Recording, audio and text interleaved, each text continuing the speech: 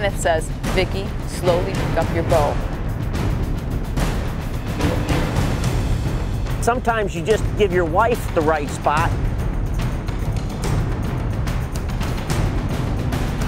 I am now a master angler. Thank you.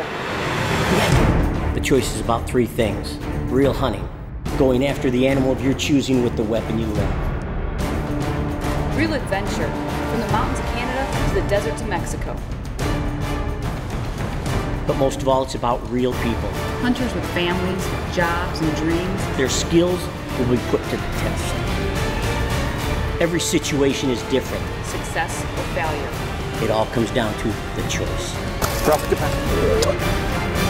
That one's for you. Oh, yeah, baby!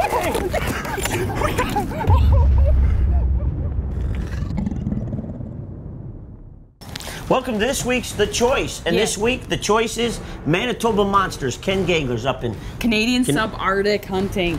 Yeah, I we're pumped. I, I mean, just because you never know what kind of bear is going to No, walk through. it's gonna be a lot of fun. This week's lucky logo is 10 points. 10 po- somebody is going to win a 10 point crossbow. And you and a lot of other stuff Oh, from tons of stuff, which it's is gonna awesome. be awesome. And we'll tell you what to do if you spot that 10 point logo during the show. Yeah, now here's the deal. Yes. Is this spring was unbelievable. I mean, it just we thought it was going to be so great. It And then so weather got crazy, and then and it then- got snow in April up there. I mean, they, they had all kinds of stuff, but I mean, bear hunting, fishing, can't get better. No. it's, it's pretty cool. So, So you made going. breakfast? I made breakfast. Let's have some food. Manitoba Monsters. Mm-hmm. A hot. Going up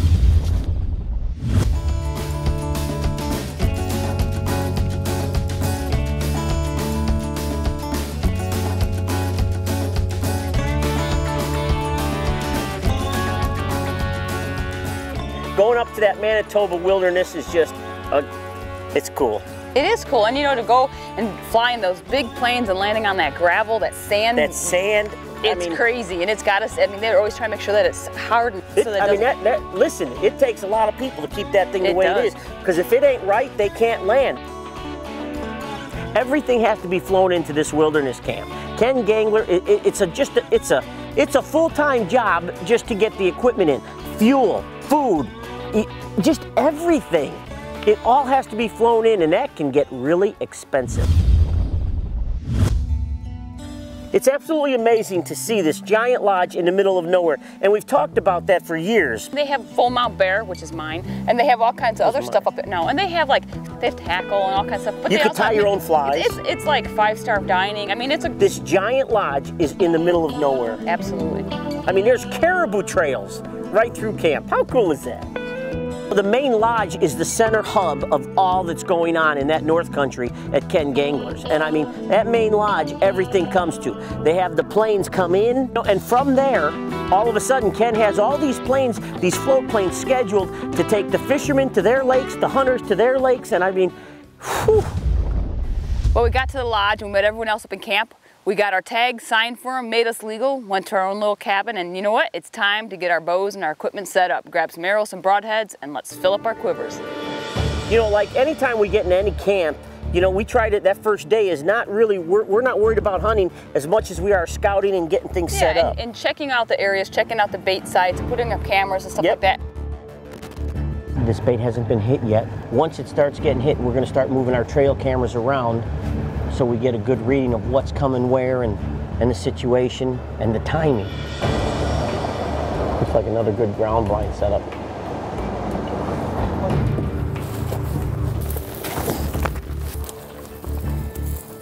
It almost could be a, a sow and boar, and this is what you want here at Ken's is because when you got this, you never know what size boar that is.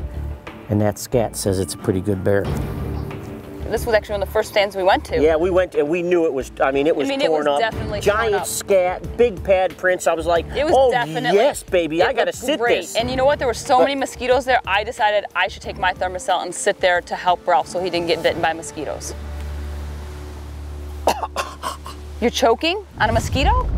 We ran baits this morning and found one that's been hit. Um, Ralph has been so honorable to say that I can be up first. That that's what we're gonna do. Kenneth and I are heading out. Bye, darling. Wish me ya. luck. Love Good you. luck. Thanks. We gotta go. There's a plane coming. Hurry, hurry, hurry. We don't want the plane to run us over. Hurry, hurry, hurry, hurry.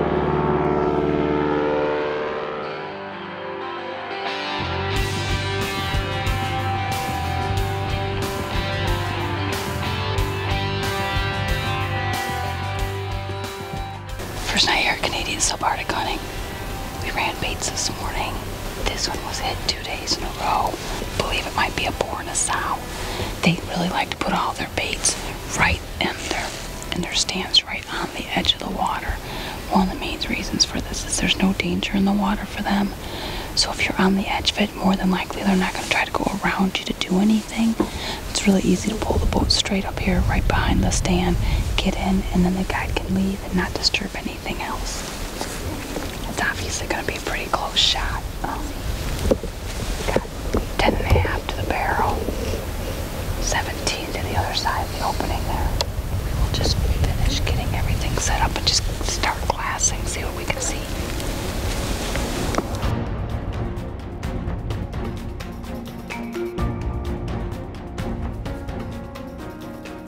You know, the first night out, well, you know, me as a gentleman, I'm gonna let Vicki go hunting the active bait and we're gonna go work and check all our trail cameras to see if there was another bait active. Within the first 30 minutes, we had a big old no-brainer boar come walking in. Well, we're coming up to our bait site that we had. It wasn't hit hard, but we had two good piles of scat. And that's telling us that this bear's found it. He's eating it, but he can't eat a lot of it. His stomach's not ready for it. So we brought a ladder stand and our, one of our hang-ons we're gonna set up because the wind's been different. So instead of using their permanent setup, we're gonna use a portable.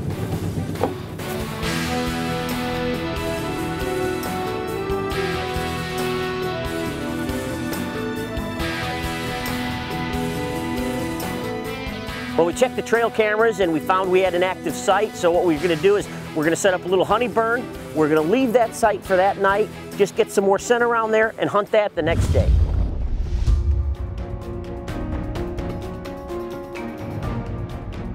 The first evening out, we sat in the stand, and within the first 30 minutes, we had a big old no-brainer boar come walking in.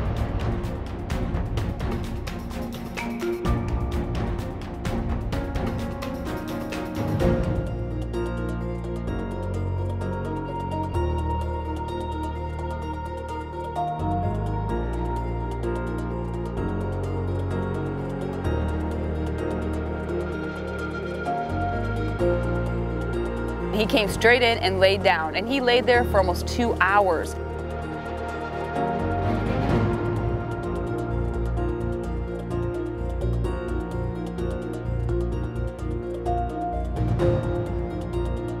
And I was wondering if he was ever going to get up, and all of a sudden we looked over, and here's another good bear coming in. He has scars all over his face.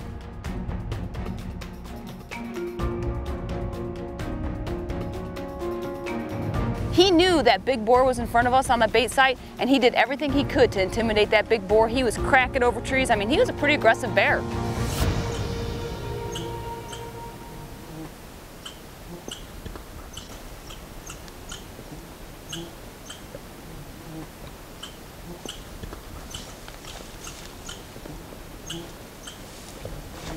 That first bear, he got up and he took off.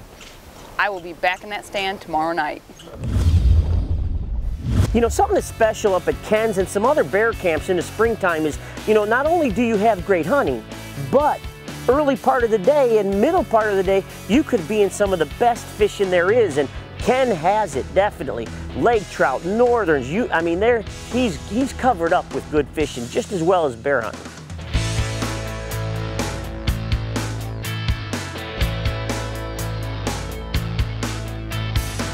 Years and years and years ago. How old are you? When I met Vic, is you know she wasn't into she didn't like fish. You didn't like to eat fish. You No, didn't. I don't like to eat fish. I've always fished though. I've always loved to fish. You didn't catch nothing, but I mean you like to fish. too. No, you didn't. Be honest.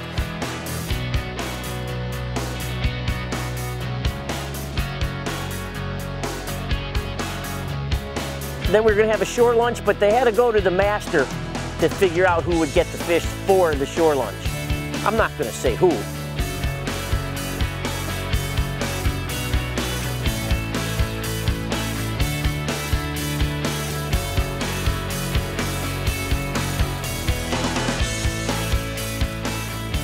You know, I Well, you caught I a couple filled the pans. Cute, you you you caught a couple them. cute little lake I trout. filled Those them. were nice. But the next day, you know, I filled them. I showed him what you're supposed to The really chips catch. were down on The one side. I am now a master angler. Thank you. You're a master. We went over by, there's actually an old trapper cabin up along the shore, and so it's a little old building, and we were sitting there, they started, they just built this big fire, and they cooked that fish on that fresh open fire, and a can of beans, and a can of corn, and fresh caught fish on a shore. Oh my gosh, that, that stuff was just unbelievably awesome. After I had my sights on that big guy that first night, that no-brainer, I decided to sit and wait. Follow us on Facebook and Twitter. Go to facebook.com slash Ralph and Vicki.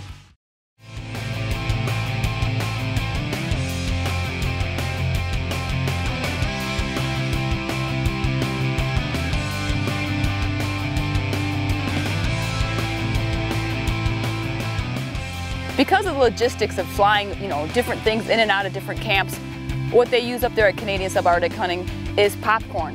It actually makes a lot of sense. It's very light. They can they bring it in, they pop it right at main camp, and then they fly it out to all the different camps.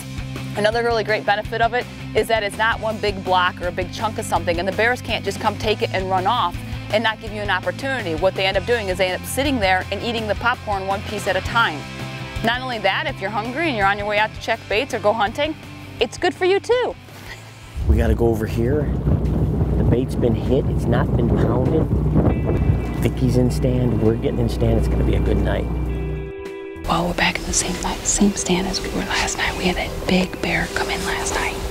Um, he laid in here for almost two hours. Then we had another bear that came in that had a whole bunch of scars on his face, and all heck broke loose, and uh, they all disappeared. But the one that came in with the scars on the face, he wasn't as big as the big guy. So we're gonna hang out and see if that big guy will come back in this afternoon.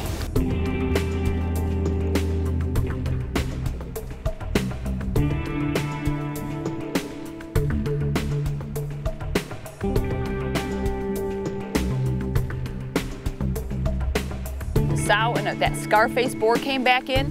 And you know, I had opportunity, but after I had my sights on that big guy that first night, that no-brainer, I decided to sit and wait.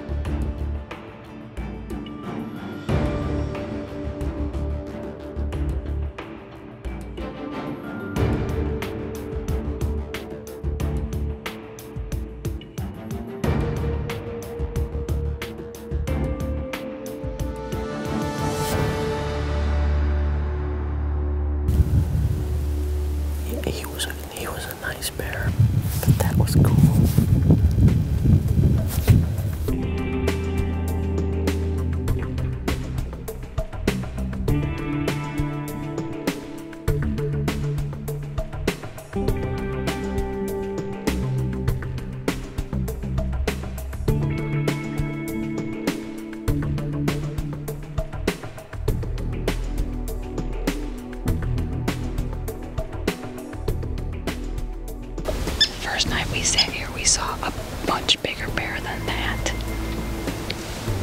The guy over there with the scars on his face, he's a good bear.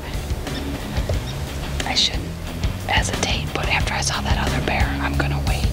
Sometimes you just give your wife the right spot. It's gonna be a long night, I know it. I can't, I can't even explain.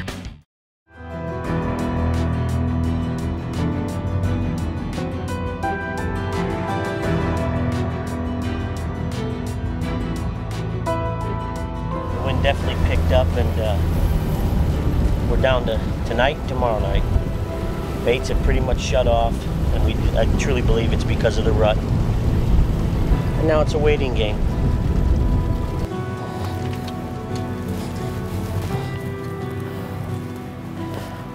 Well, we walked in this and we saw that it was pounded. It was pounded better than any day it's been pounded before since we got here got it all baited up.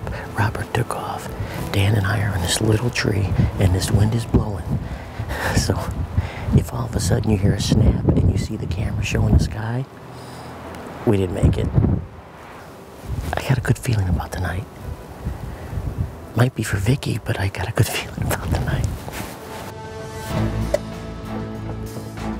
Before we went out on the fourth night, I talked to Ralph and I said, you know, if that one with the scar comes back in, I think maybe I'm going to take him. If he gives me the opportunity, I'm going to do it. It's now about 5.30 would be my guess. I'll tell you exactly. Um, it's 5.35, pretty good guess. It's pretty darn windy outside. The waves coming over the lake were really pretty bouncy. Um, the bait has been hit again. I'd love to see that really big guy come back again that we saw the very first night. But that being said, we have tonight and tomorrow night. So if the one with all the scars come in, he's actually a really good bear also. Not as big as that big boy we saw the first night, but he's a good bear. I've been holding out, waiting.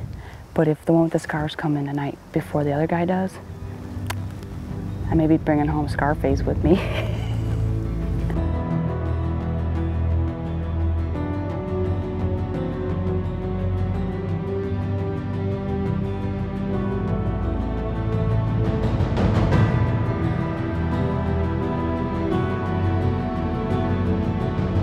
all of a sudden, Kenneth says, Vicki, slowly pick up your bow. And the big no-brainer started walking in. I couldn't believe that he came back in, and I just sat and was very patient for him to come back into the site.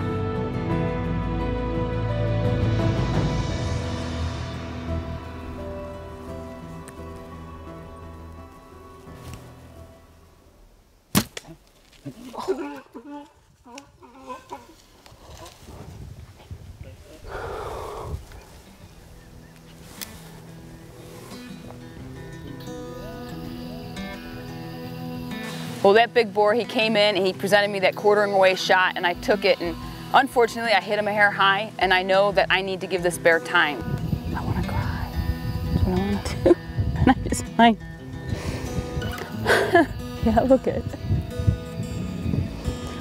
Oh, that just sucks.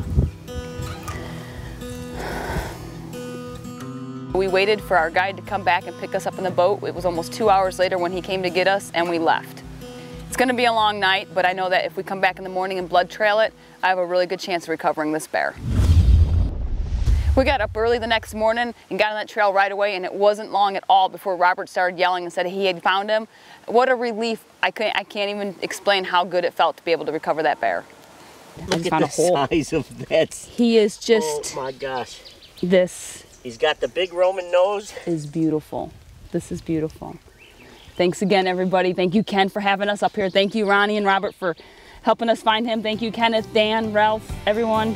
You know, sometimes you're in the right spot and sometimes you're not. And sometimes you just give your wife the right spot and you take it for the team. And it's looking like this trip is what I did. You know, I had a pine marten, so I did have some fur activity, but it wasn't happening for me. Manitoba Monsters, Ken Gangler. You know what's crazy is, Canadian subarctic. Yeah. That is a place for big bears. and again, Vicki gets a bear, and you well, See the pattern going? yeah, I see the pattern Bears, going. bears, You had fish, bears like all fish. around you. Bears, fish, fish. That's all you get. That's it. Hey, if you happen to see this week's lucky logo, which was 10 point, 10 point. Somebody is going to win a 10 point crossbow. How cool is that? it's very cool. You need to log on to choicetv.com, click on the lucky logo button, fill out the information, and And a ton of it. other stuff. And a lot of other Thanks stuff to all of our other sponsors. Yes. Can you believe this is show 13. 13 of the choice season? It's over, It is. but But it's going to start we're again. not gone. no, and we want to thank you guys, the big guy upstairs, of course. yep. And you know, our sponsors, because without all of you and them and him, none of this would be possible. For thanks, thanks for making your choice. The choice. And we'll see you Next next, time. time. So we should go hunt. We No. more shows. Why don't you go clean the cabin? Why you clean the cabin? You got mud in it.